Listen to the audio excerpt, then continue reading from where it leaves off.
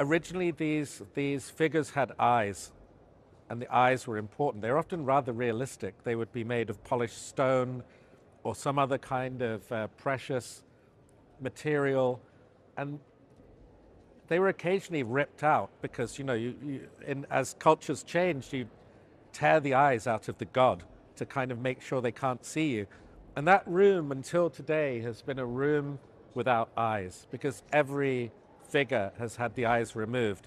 And I thought for the last six months to give Hadad his eyes back might kind of do something and maybe even be a bit, um, I don't know, risky or scary or frightening.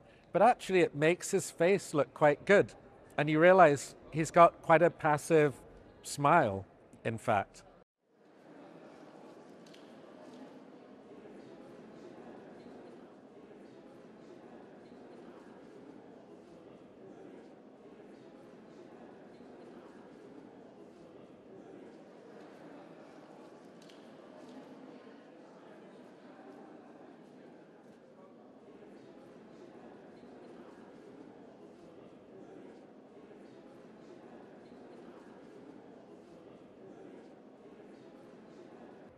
Politically speaking, every Western museum is complicated. We know that they took things, that people took them away and put them somewhere else.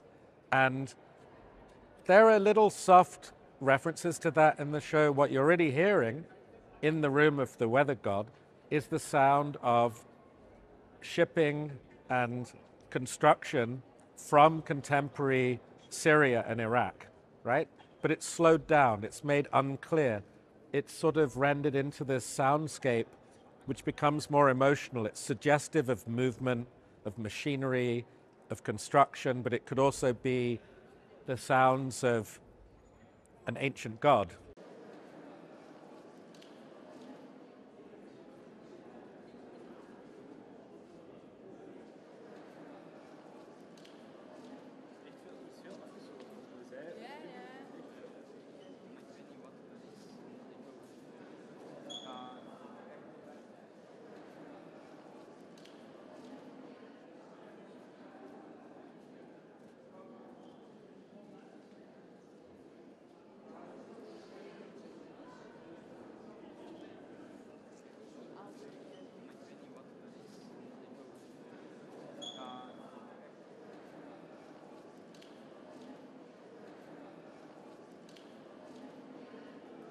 When we walk in these spaces, you just kind of pan through with your eyes and you don't sometimes stop. You see it as an assemblage.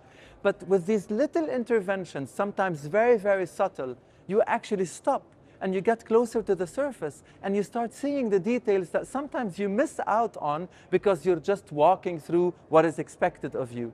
And I think this is where Liam's installation becomes very, very successful and brings this life and again draws our gaze back to these very, very important details that we sometimes unfortunately miss.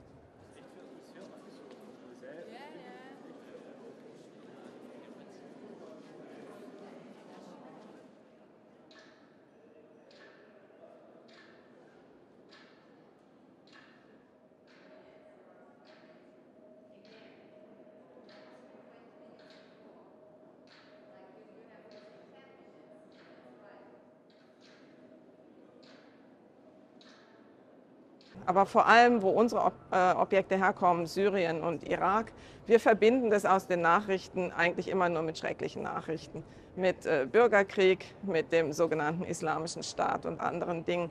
Und es war doch ein großer Wunsch, auch nochmal darauf hinzuweisen, dass es diese Weltgegenden sind, denen wir erstens sehr, sehr viel Schönheit verdanken und aber auch ganz, ganz wichtige äh, zivilisatorische Neuerungen, einschließlich der Erfindung der Schrift.